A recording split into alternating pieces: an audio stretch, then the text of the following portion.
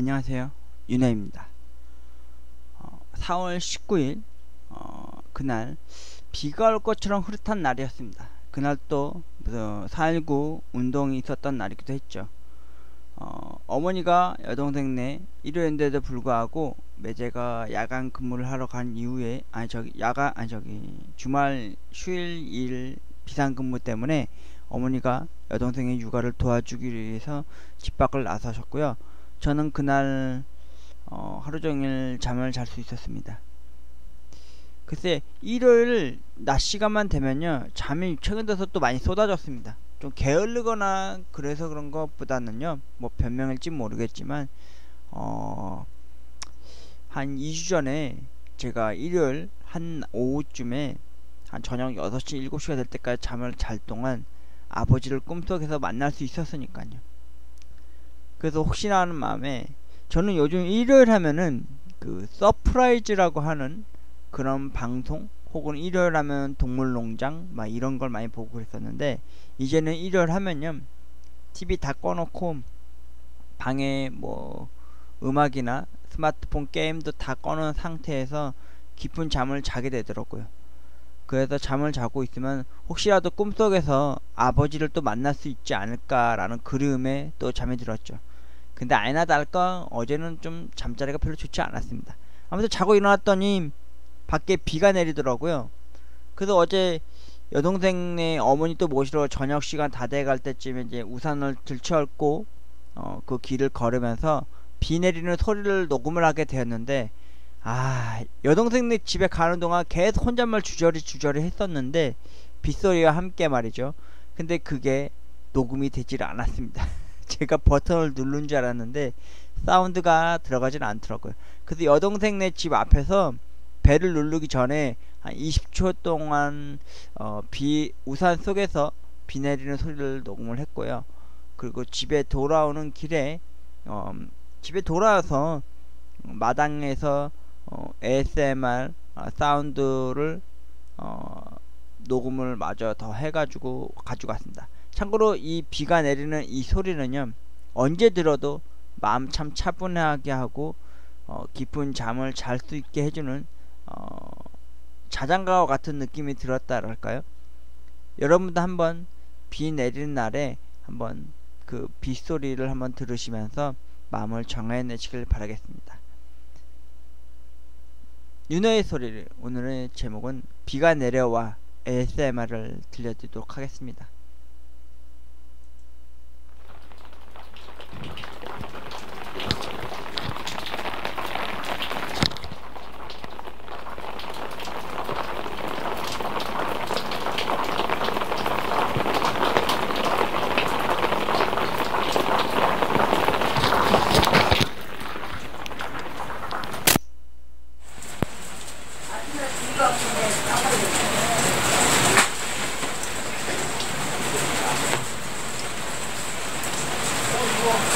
Thank you.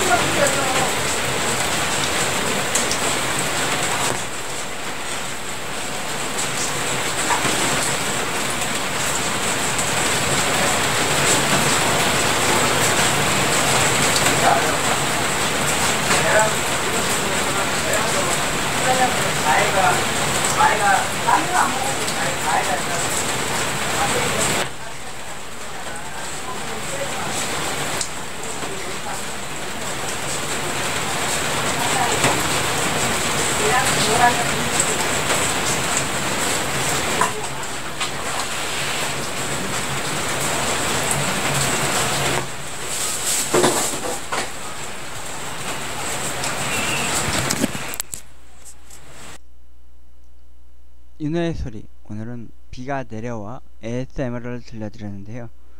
어, 처음에 들려줬던 20초밖에 안되는 그 분량의 ASMR은 여동생네 집에 다 와서 배를 누르기 전에 아, 빗소리가 나려는 날에 어, 들려드렸던 빗소리가 녹음이 안돼서 초인종을 누르기 전에 한 20여 초 동안 서서 어, 비 내리는 소리를 우산 아래에서 들었던 소리였고요. 두 번째 장소가 바뀌어서 한 것은 집에 어머니 모시고 들어왔을 때 어, 마당 쪽에다가 어, 마이크를 켜놓고 잠시 방에 들어갔었는데 야, 지금 보니까 어머니하고 제가 하는 말들이 다 웅얼웅얼웅얼 이렇게 들어갔네요. 여러분들은 비 내리는 날에 무슨 소리를 더 좋아하십니까? 저는 비 내리는 날에요. 스쳐 지나가는 자동차 바퀴 소리가 너무 좋습니다. 특히 그 노면이 다 젖어 있을 때 차가 딱 지나가잖아요. 그러면 차, 차 이러면서 그 축축히 젖어든 노면 위를 빠르게 스쳐 지나가는 자동차 바퀴 소리의 그 소음 소리가 저는 이상하게 기분이 좋더라고요. 여러분은 어떤 빗소리를 좋아하십니까? 저는 우산 아래에서 투둑투둑투둑 떨어지는 그 빗소리보다도 스쳐 지나가는 자동차 소리, 바퀴 소리, 노면에 젖어든 비를 스쳐 지나가는 자동차 바퀴 소리를 좋아합니다. 윤회의 소리, 오늘은 비가 내려왔었던 날의 소리를 들려드렸습니다. 고맙습니다.